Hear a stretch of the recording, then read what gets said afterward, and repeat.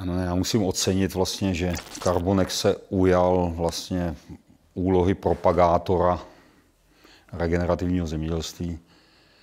Těch nálepek, že, o kterých tomu zemědělství se přilepují už za tu moji éru, a to já jsem dělal agronoma vlastně od 23 let, je, je spousta, že jo, takže se v tom ztratí se v tom i člověk, který v zemědělství pracuje, na tož teda člověk, který zemědělství jako vnímá jenom okrajově, jo, takže regenerativní zemědělství je podle mě úplně nový pohled na problém a je to taková nálepka nad, nebo je to zájmeno nad zájmeny, dá se říci, protože je to částečně vlastně, nebo by mělo znamenat ne nějakou změnu technologie nebo jako vylepšení čehosi, ale je to vlastně úplně nový pohled vlastně na fungování zemědělství a přírody, který, a to se mi na tom vlastně líbí a líbilo se mi od začátku, ani jsem teda ten název úplně neznal, že jo.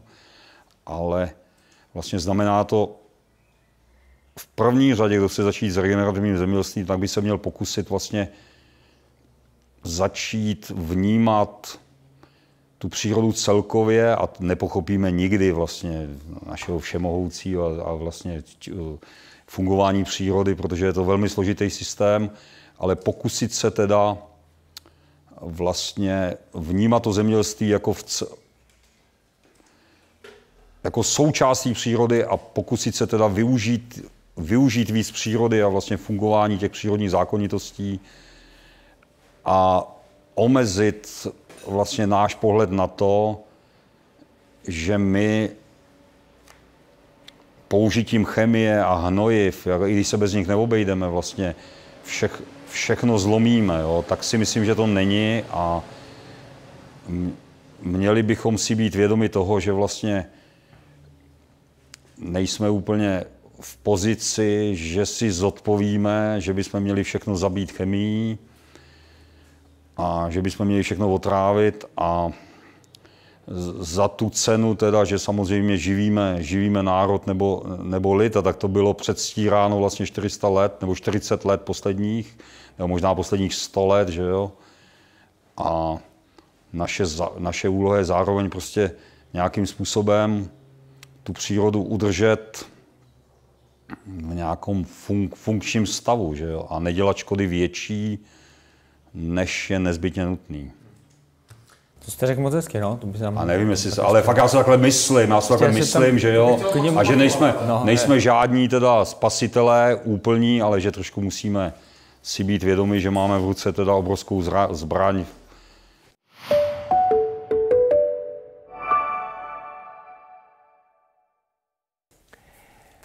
Dobrý den, vítám vás u dalšího dílu podcastu projektu Carbonek.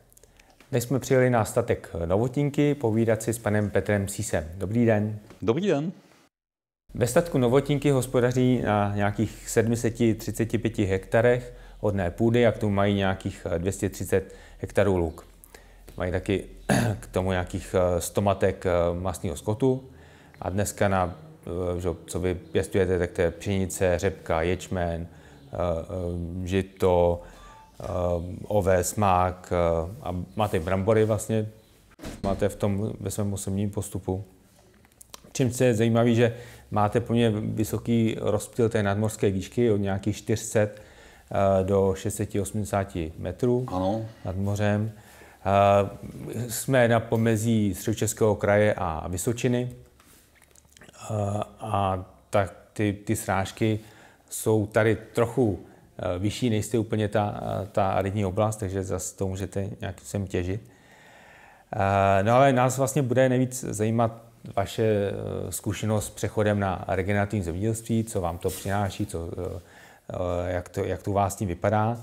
A pokud vím, tak vlastně tím prvním aha momentem u vás bylo, když jste před deseti lety zasel řepku přímo do strniště. Jak, co jste tím mm, získal, co jste viděl, jak se to projevilo?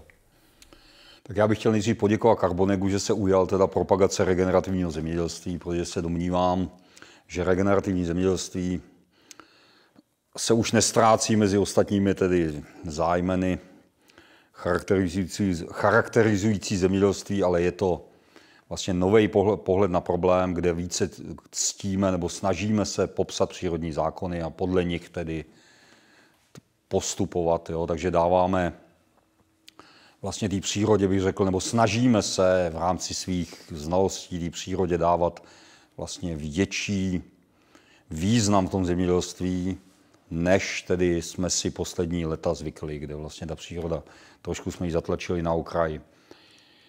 A já vlastně, protože každý řeší v tom zemědělství spoustu problémů a je taková docela stresující činnost, protože nejste závislá, závislý jenom na strojích, ale jste závislý na počasí, že jste závislý konec konců u toho většího podniku vždycky na nějaký spolupráci mezi lidmi, že jo. Takže vlastně vy se snažíte nějakým způsobem tu výrobu pokud možno zjednodušit a vlastně si tu práci do jisté míry ulehčit, vyhnout se nějakým rizikům. A když ty rizika vidíte a vlastně tu mnohdy nezvladatelnou práci, protože v zemědělství jsou pracovní špičky, vlastně jo, nějakým způsobem rozložit a usnadnit. A vlastně dneska už je to víc než 10 let. To mě vlastně naladilo na to, protože jsem vzděláním agronom, že vlastně prošel jsem středníma školama, střední školu Benešově, která rozhodně nebyla špatná škola. A chodil jsem na zemědělskou školu potom do Sugdola, takže vlastně jsem, mám takový klasický v českých poměrech agronomický vzdělání. A vlastně dělal jsem všechno tak, jak teda to dělali ty ostatní, takže takovou nějakou obvyklou zemědělskou praxi. A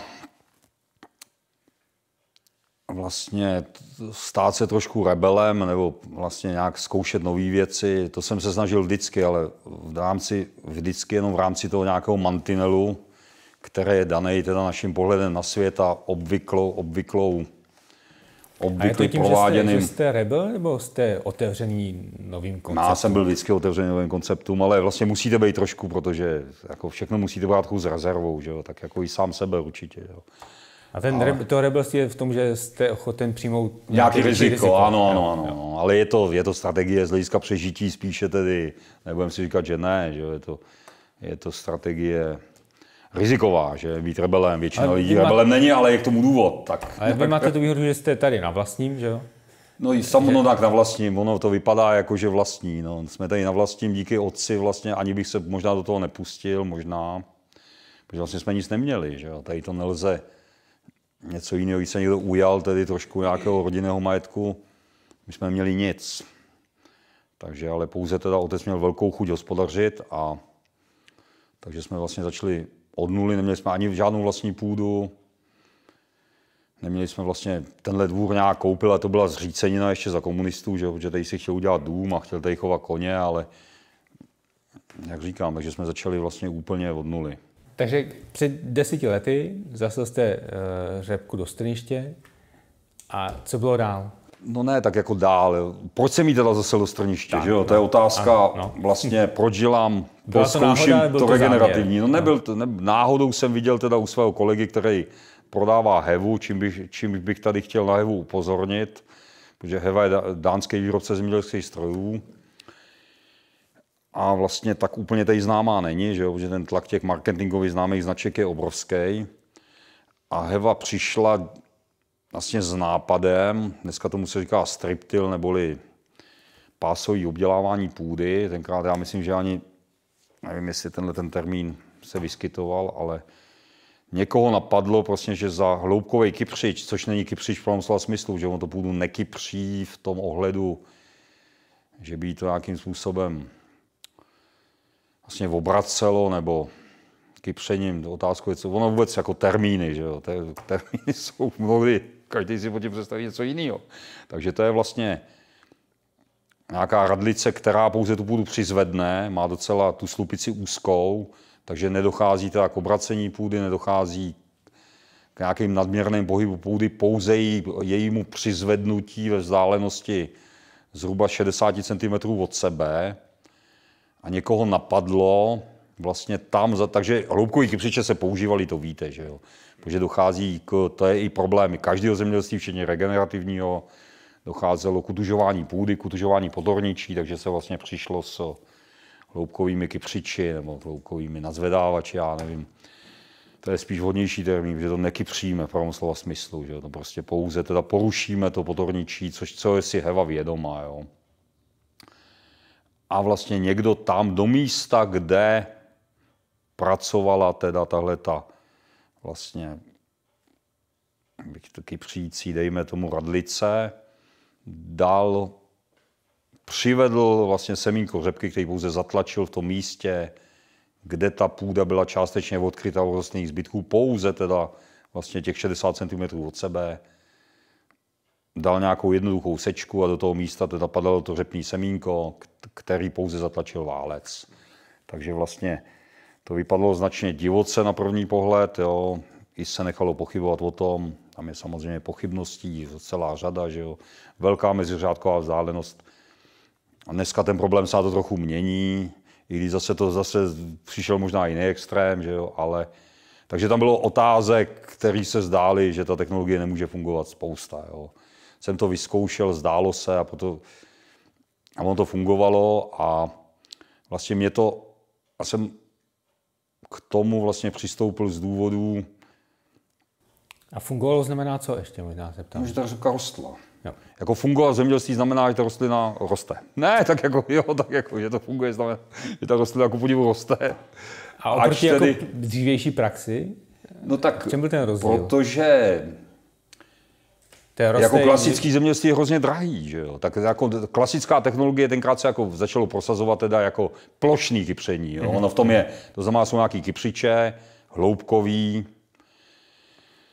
kde teda vy tu půdu prokypříte, zároveň teda zároveň, zároveň i namísíte, že jo, tu, tu organickou hmotu tam, nebo slámu, nebo strniště, vlastně plevele případně, že s tím horizontem v té hloubce ani třeba 25 cm pohnete, ten horizont promícháte, to je všechno energeticky hrozně náročný, že jo. A tenkrát vlastně se hlavně voralo, Vorba samozřejmě, vorba se dělá zřejmě 2000 let, že jo? co rád říkám, anglická královna dala vikingům, Teď se domníváme, že vymysleli bratři Veverkové vlastně pluch, to asi pravda nebude, že jo? protože obracení půdy je známý podle mě několik tisíc let možná. Že jo? Anglická, anglický král, než je pozabíjel ty vikingy, tak jim dal jako dar lásky pluch, železný pluch v roce 300 asi, jo? takže který obracel půdu. Že jo? Takže a to obracení půdy mělo svůj význam, že, jo? že to samozřejmě bylo. Že jo? Ale co to chci říct, takže my jsme půdu neobraceli, pouze jsme ji teda přizvedli ve vzdálenosti 60 cm od sebe, do toho místa teda napadala ta řepka, tu zatlačil válec, vypadalo to hrůzostrašně, to z mnoha důvodů to nemělo fungovat. Jedna řepka padala na vrch, když řepka vzchází na vrchu, no ale ne nutně, že jo, když je teplý počasí, nebo je to přeslý. Hmm, hmm. Ale ku podivu ta řepka vzchází, ta vzdálenost se všem zdála příliš, se to zdálo daleko, 60 cm, že obvyklá praxe bylo teda 15 nejvíc, nebo 30, že jo, to bylo skoro 60 to strniště tam samozřejmě nevypadalo tak obdělaný pole, že jo, zdálo se, že ty letos nebudeš sejít, mi taky to mi říkají dneška, že jo. Ale ta řepka tam vyrostla. A podle mého názoru ta řepka nakonec, i když samozřejmě bojujete hlavně ze slimáky víc, protože jak to budu neobracíte, myším to samozřejmě vyhovuje. Že? Takže pokud jim nerošťouráte ty nory, nebo jak se to jmenuje, ty díry, nebo co to vlastně mají myši, takže to... Ale ta řepka rostla, no, takže jsem to začal, začal dělat, ta řepka se zdá, že i roste líp. Samozřejmě vedlejší efekt byl, že eroze byla nulová, protože to vlastně vysvětluje karbonek už mnohokrát, jak se do neobdělávané půdy nebo do půdy pokryté rostlinnými zbytky ta půda vsakuje lépe, že jo? tam to bylo prostě jednoznačně vidět. A to mě vlastně přivedlo k tomu, že jsem začal přemýšlet, jestli neděláme úplně všechno špatně. No.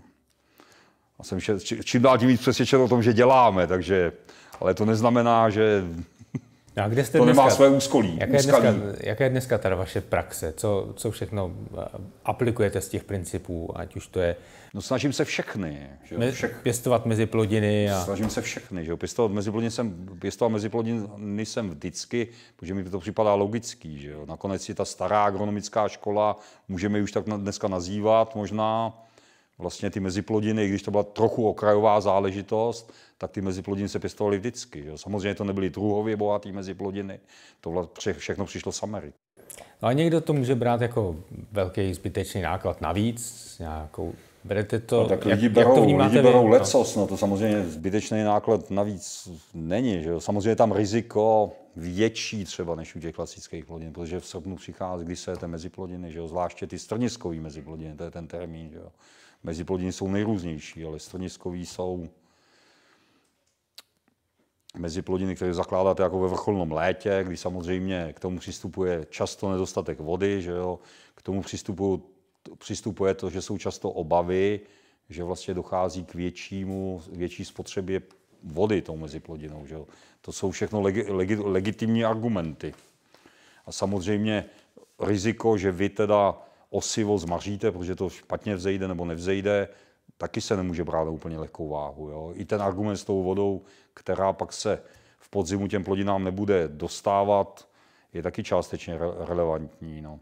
A vy je sejete hned eh, se sklizní zároveň?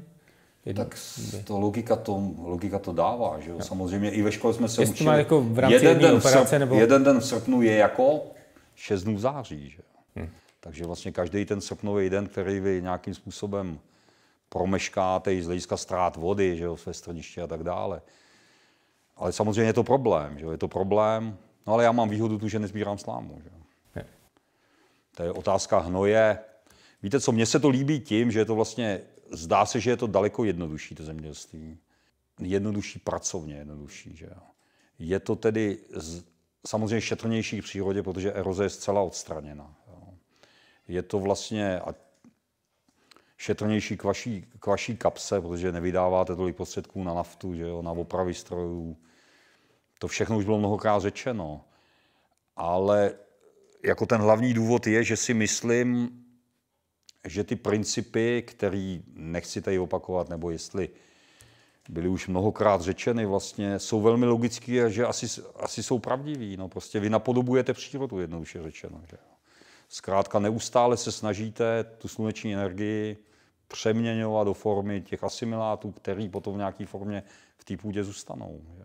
20% teď jsem si žil takový číslo, docela mám rád čísla, když si je nepamatuju, 20% sluneční energie od srpna, od půlky srpna do konce října vlastně přijde v niveč, hmm. protože na tom poli většinou nic není. Že jo? Nebo... A to je pak ještě ta další fáze, co máme i na tom našem indexu, je, kde je opravdu jako ten nejlepší, takže používá intercropping, kde vlastně hned maximalizujete, určitě, maximalizujete určitě, ten efekt určitě. a získávání sluneční energie. Určitě, no. určitě. No. Jsou to technologicky samozřejmě nejsou to technologicky úplně jednoduché záležitosti, že jo. Ale ještě, ještě vám tady řeknu můj nejoblíbenější, to si myslím, že jsem do té kuchyně toho regenerativního zemědělství vnesl tedy já, tuto myšlenku, i když že vzpomeňme norfolský osevní postup, že jo, kdy teda vlastně to byla, dá se říct, zcela převratná myšlenka. Já jsem si o tom něco přečet, protože, jak říkám, ta zemědělská škola v Benešově byla dobrá škola, protože řada těch profesorů byli děti zemědělců, takže oni znali vlastně to zemědělství nějak z praktický, znali to zemědělství prakticky a pak se k tomu na těch školách něco doučili. Tak si můžete krátce popsat, nevím, ze kdy to je a v čem to spočívá? Určitě. Já si myslím, že vlastně i lze spatřit takhle, jako regenerativní zemědělství je zemědělství, který do popředí dává vlastně přírodní procesy. A že mi místo to, a, a z toho důvodu by to vlastně to pěstování těch plodin mělo být i levnější, že jo? protože vy vlastně využíváte při, více než těch chemických, technologických a dalších zdrojů, využíváte těch přírodních zdrojů. Těch přírodních mechanismů, který, ano, které a jsou... zdrojů, ne, no, neříkejme, no. řekněme i, z, jako jo, slunce je samozřejmě zdroj, že jo, ano, voda ano, je zdroj. Ano, ano a ten se snažíte maximalizovat se tenhle ten zdroj, tuhle tu energii, tak. aby ta se vám přetvářela v tu biomasu, kterou vy Přesně potom tak. chcete z toho Aby vy jste vlastně využil více, než my jsme se dneska podle mého názoru příliš jako přesměrovali na ty technické zdroje, ale zapomínáme, že vlastně základem zemědělství je příroda prostě a fungování přírody a v tomto, v tomto regenerativní zemědělství je vlastně převratný oproti všem těm ostatním teda zájmenům, které my můžeme používat. Jo. Že je to vlastně zaměření se na větší využití přírodních zdrojů. No a mě teď, když se tak o tom baví, napadl takový hezký příměr, že to je jako když eh, v zápase nevím, v judu, o čem to je? Že se snažíte využít sílu toho protivníka. Přesně tak. Ano, jo? ano. Že nejdete ano. na to silou, ale můžete být ten, ten slabší, který naopak využije tu ano. sílu toho protivníka. Že? Tak Vy ho tady... nechcete ale zničit, vy ho chcete tedy vlastně mu taky pomoct, ještě to je na tom No ale tady využíváme prostě těch přírodních principů, fotosyntéza a symbioza rostlin s tou půdní mikrobiologií. To je, to je něco, ano. co je tady stovky milionů let, je to ověřený, funguje to ano. a nemá cenu se s tím prát, bojovat proti tomu, naopak je potřeba to využívat ano. ve svůj vlastní prospěch. Nakonec půdy vytvořila příroda, půdy nevytvořili lidi. Že jo? Je až zázrak vlastně, že tady ještě pánům potom ukážu, vlastně to nemůžeme také brát na lehkou váhu. To je geologická mapa České republiky, že jo? samozřejmě tam je něco dole, ale vlastně tu půdu vhodnou pro život vytvořila příroda, to znamená rostliny, a živočichové samozřejmě. Jo. A tak nějak bychom v tom měli pokračovat. Ne na potkání úplně všechno zabíjet. Hou, houby a bakterie taky, no. Který... No a rostliny hlavně, no, že? No. Taky samozřejmě to... Samozřejmě, no, tak je to právě ve spolupráci s nimi, že vlastně ty houby to všechno narušily, nebo ty přináší ty živiny z těch, uh, z toho, uh, z té mateční horniny, no, v finále, ty to narušují. To, to úplně, tam to začíná, kde uh, vlastně, když se začaly okupovat ty první nějaký skály, tak tam jsou to hlavně ty, ty houby, které to narušují. Eh, ještě se tam vlastně z těch principů jsme zmiňovali tady omezený zpracování, meziplodiny, eh, jak se na tom zhnojivě a, a obecně využívám nějakých prostředků na ochranu rostlin. Sniž, daří se vám to snižovat postupně? No dělám to, jestli se mi to daří. No samozřejmě já trošku jako brzdím to nadšení lidí, bez pochyby, regenerativní zemědělství je jako vypadá to na první pole všechno jednoduše, ale trošku bych to nadšení brzdil, protože samozřejmě příroda nechce, aby na tom byly rostla pšenice. Že jo? Kdyby jsme to nechali přírodě, byl by tam, tady se obec jmenuje Buková, dva, dva, dva, dva kilometry od by tam byl zřejmě bukový les. Že jo? Takže my tu přírodu jako nějak směrujeme k tomu, co chceme my. Že jo? My chceme pěstovat nějaký rostliny, které by tam normálně nerostly. Že jo? Takže si namlouvat, že teda to tam nějak bude fungovat úplně samo, my to nebudeme obdělávat, budeme jaká sejta sklízet, tak to úplně asi nebude. Jo. Takže jako trošku bych mírnil takový to svatý nadšení, že se to všechno samo za pár let. A myslím, že ty problémy se můžou naopak zvýšit, protože se mění plevelní společenstva. Jo.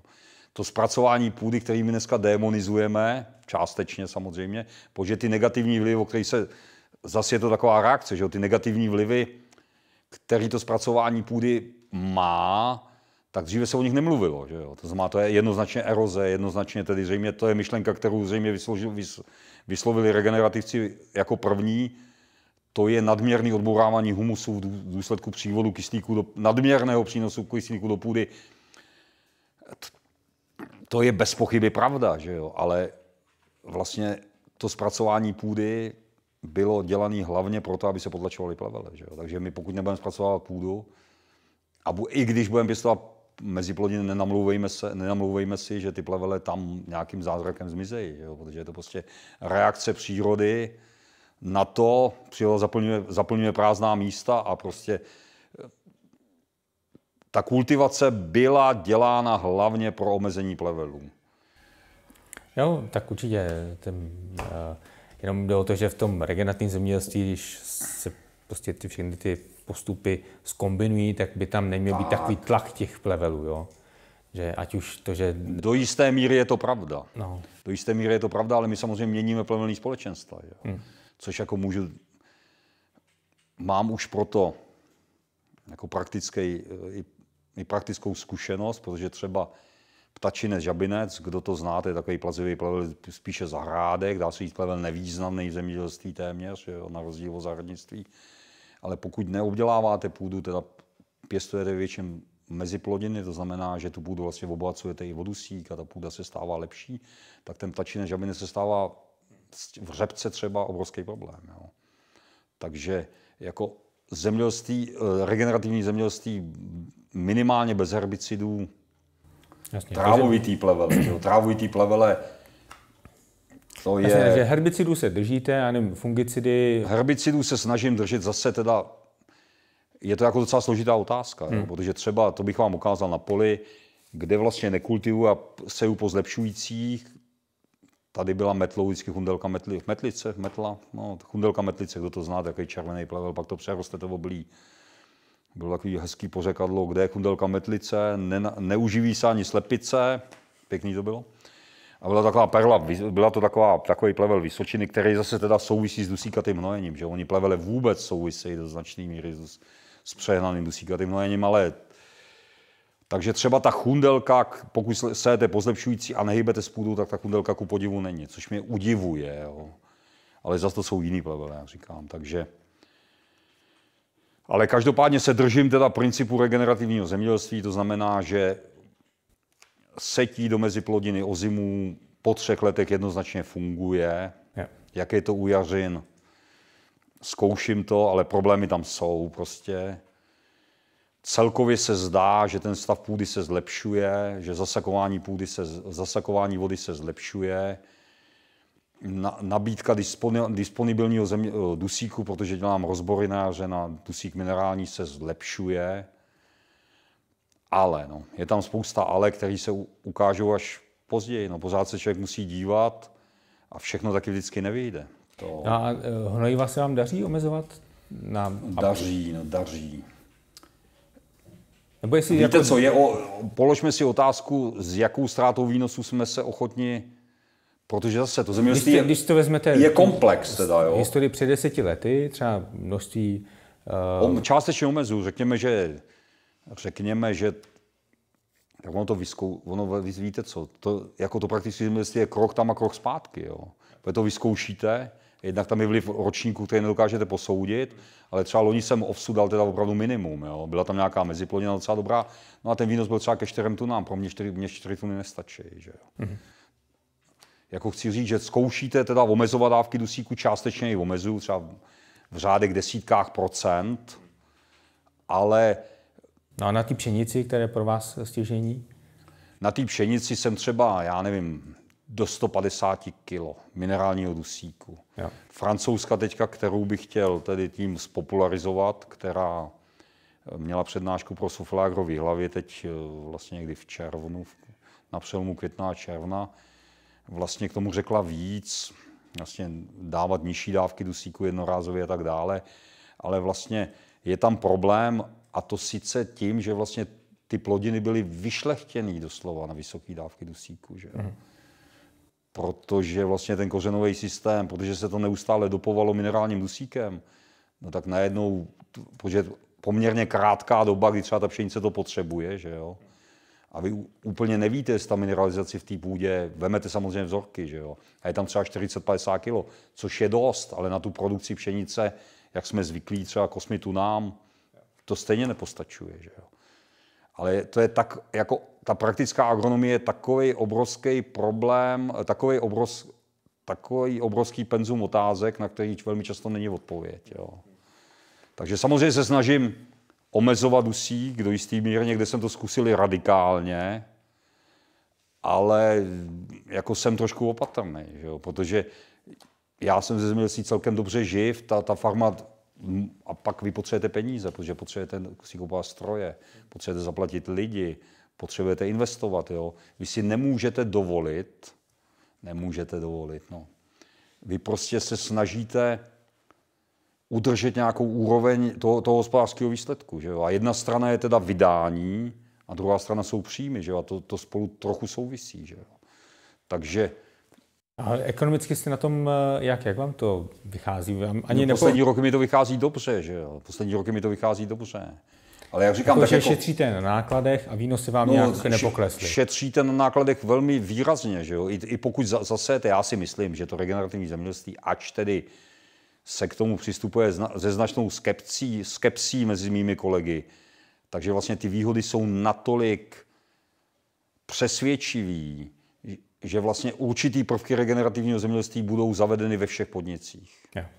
Jo. Otázkou je, jak dalece je někdo ochoten vlastně jít. Jo.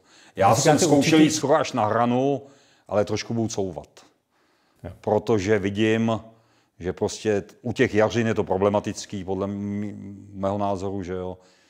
Za, začne problém, začnou třeba takový ty viditelný problémy třeba myši jednoznačně, že jo? protože jak s tou půdou nehýbete.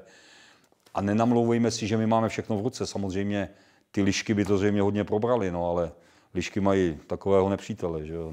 Chodí, chodí v zelených havelocích. Ale no ne, tak jako vy, vy nemáte pod kontrolou celou přírodu. Jasně, jo? Nejenom ani, ani, ani ty své pole nemáte zcela pod kontrolou. Že jo? Takže já, a vy, vy to, všichni to říkají, za, začínejte opatrně, no, protože, ale to, to neznamená, co ta opatrnost je, to si každý musí říct sám. A vy říkáte ještě určitý principy, že by... No o tom není pochyb. A teď jde jako které principy, aby to zase nebyl kompromis jenom něco, když pak se vezme jenom no ne, tak třeba, nebo já jenom jsem ty principy, Já jsem ty principy opakoval už tolikrát, že a nejenom já, že všichni no. opakovali tolikrát, ale tam je že... nebezpečný, když si někdo z toho vezme jenom to no něco. No samozřejmě, ano, ano, ano, a pak, ano, ano, A pak ukáže, že to ano, nefunguje, jo? Ano. Že ono, je to, pre, to regenerativní je o tom, že se to zkombinuje všechno dohromady. Přesně tak, přesně tak. Že to musí jít ale... jako ruku v ruce, že nestačí jenom vyset mezi plodiny, nestačí jenom noutil, Nestačí jenom omezovat chemické vstupy, ale musíte jít všechno dohromady. No, no a vyžaduje to teda neustálou, pozor, neustálou kontrolu a pozornost. Že? A o tom to je, to vlastně vy jste mm, vlastně říkal ještě před rozhovorem, že to e, není jenom o těch principech, ale je to hlavně o tom kontextu.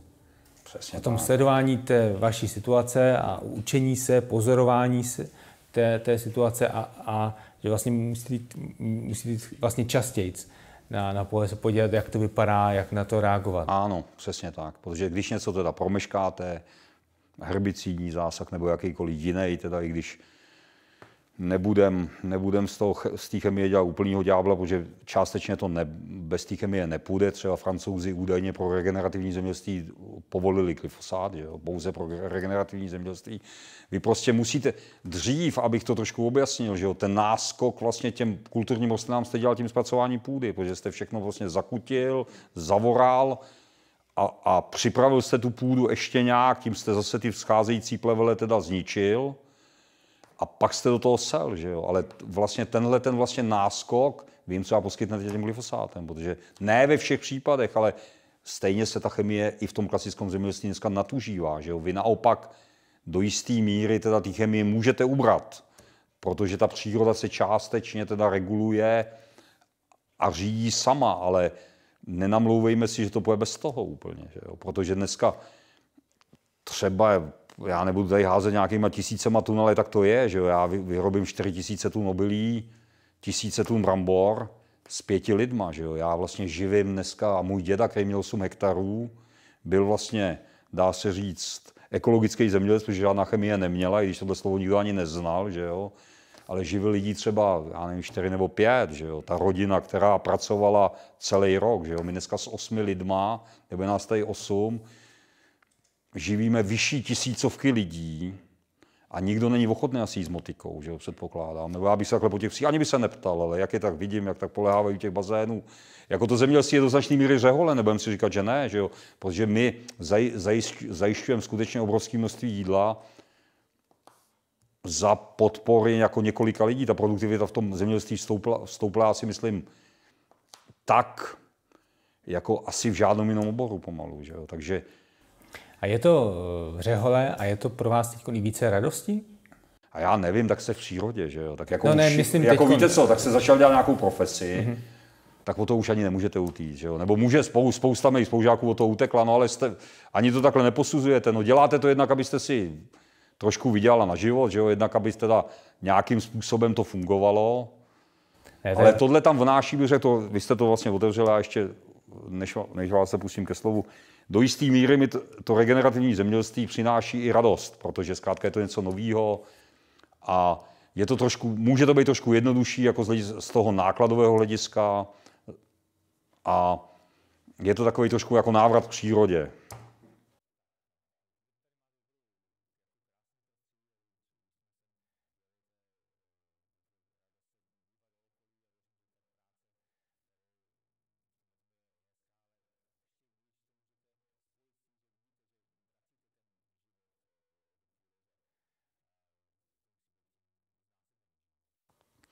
No tak jistě. Ale vlastně jako úplná novinka to není, že jo? protože věci jsou, nejsou takový, jaký jsou, ale jsou takový, jak se pomenují. To je prostě, to je sice možná hluboká filozofie, a to je pravda.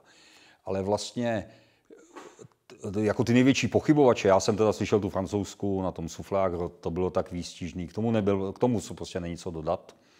Ale řada lidí tam na chodbě říkala, že, že ji nepřesvědčili. Tady nejde o to snad někoho úplně přesvědčit, ale musíme, musíme zkusit vlastně se nad věcem, věcma zamyslet. Jo? Ale zase, jak přeskočím k tomu norfolskému osobnímu postupu, to vlastně je regenerativní osevní postup, můžeme to takhle nazvat, kdy vlastně vnesením těch přírodních principů, to znamená, který dneska to regenerativní zemědělství má jako základní principy, to znamená, že druhová pestrost, menší zásahy do půdy, protože jsme tam několik let intercropping dneska, to znamená, že vlastně jsme do, jar, do jařiny podsejvali nějakou jetelotrávu, že jo.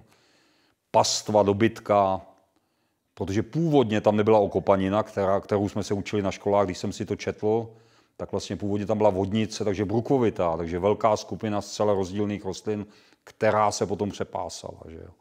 Takže vlastně ty prvky toho regenerativního zemědělství jsou tam jednoznačně obsažený a vlastně přispělo to k několikanásobnému výnosu, zvýšení výnosu vlastně v zemědělství, bez teda jakýkoliv chemie, změny technologie a vlastně způsobilo to populační explozi v Evropě v konečném důsledku. Že jo?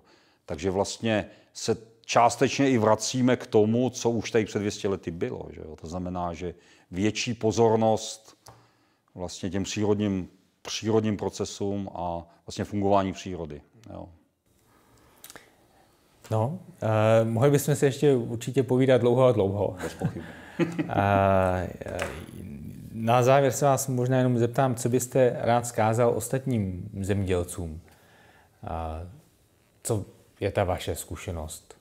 Co byste jim rád předal? Já bych chtěl trochu říct, já jsem dělal agronomii za komoušu a mám pocit, že ty vztahy mezi zemědělci byly lepší. No, nebyla tam konkurence, že jo? Nebyla tam, nebyl tam stále, stále jako boj o tu korunu, že jo? která nakonec, když máte, tak zjistíte, že vám skoro na prd. Ale že vlastně zlepšeme své vzájemné vztahy a vůbec komunikaci mezi námi, že jo, a nějak se otevřeme více novým věcem a nevidíme, možná to vidím i já, takže ty věci příliš rigidně, jako, protože zkrátka úplně přesně nevíme, jak to všechno běží. Mhm.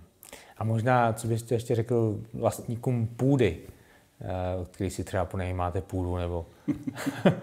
Prodejte to zemědělcům, protože zkrátka, pokud se na svojí půdě, že jo, tak i z hlediska, a ono i z hlediska, víte co, jako celkový tvorby té krajiny, protože to k zemědělství patří, že jo. To zemědělství není jenom, já bych řekl, je to tak napůl. Napůl je to teda nějaký pěstování plodin a napůl je to samozřejmě tvorba krajiny, že jo. Šlechta to tak vždycky dělala, že jo. Sázení stromořadí, budování rybníků, vlastně zušlechťování toho kraje. A to můžete dělat jenom nebo do velké míry na svojí půdě. Že jo? Pokud pokud jste jenom nájemce. Takže vlastně eh, to, že my vlastně pracujeme s větším nebo podílem, menším podílem na, na, na cizí půdě, tak vlastně omezuje rozvoj zemědělství. A vůbec jako krajiny, a jsou to silný slova, ale je to pravda. Pokud chcete, podejte to dobrým zemědělcům, který trošku vidějí nejenom teda ten svůj zisk, ale i to, to zvelebování té krajiny, protože pak to jde jim snadněji. Jo. Když se na to díváte tak s tím přesem, co byste ještě a, rád přesah, no. vzkázal nevím, evropským úředníkům nebo českým úředníkům? Já nevím, ke mně se všichni nakonec zachovali. Já bych řekl, že ten byrokratický kolos je obrovský. Že jo. Ke mně se všichni chovali nakonec vždycky, řekněme, smířlivě.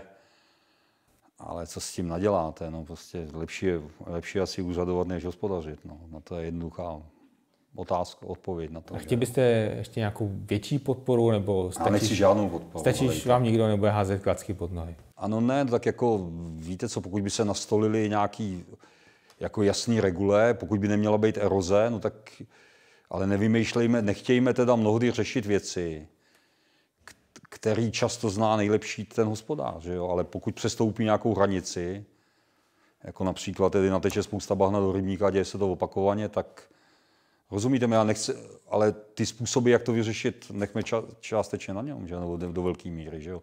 Dneska se to příliš detailizuje všecko, že jo. Vychází to z velmi problematických základů, celá ta nitrátová směrnice. No. Údajně tisíc kilo dusíků půjde vázaných v organických zbytcích.